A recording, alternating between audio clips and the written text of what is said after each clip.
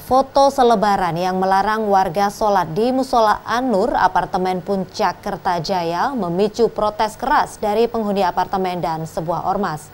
Warga menuntut pengelola mencabut larangan tersebut. Mediasi sempat memanas saat pengelola merasa tidak pernah mengeluarkan larangan itu.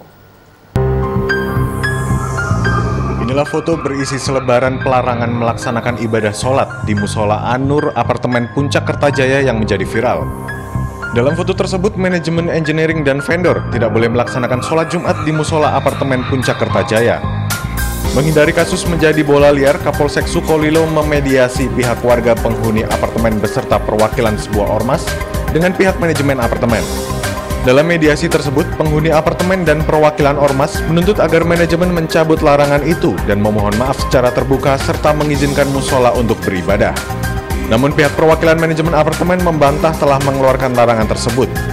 Hal ini sontak memancing emosi perwakilan warga dan ormas karena manajemen dianggap memutarbalikan fakta.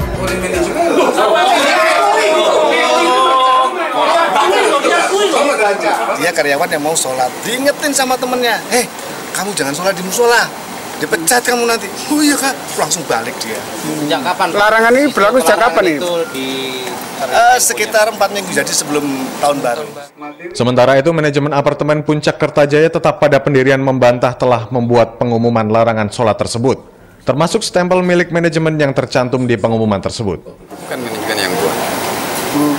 Ya, Lalu siapa tidak merasa buat itu, Pak? tidak merasa membuat. Ada stempelnya itu, Pak.